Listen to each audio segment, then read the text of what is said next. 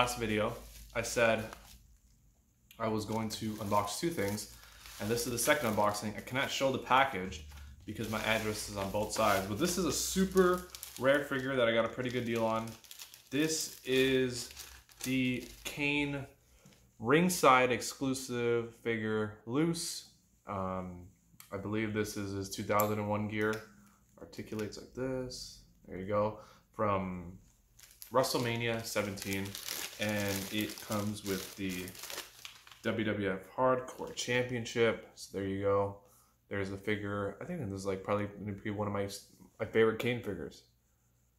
There you go. There's the face. There's the um, Kane wearing a singlet.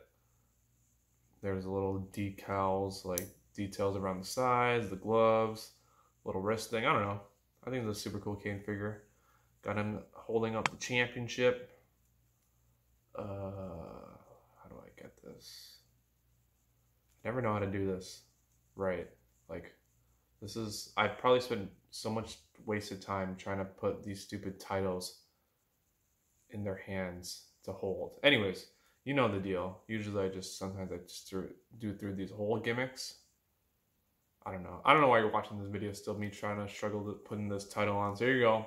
Kane, hardcore champion ringside exclusive figure. Yeah.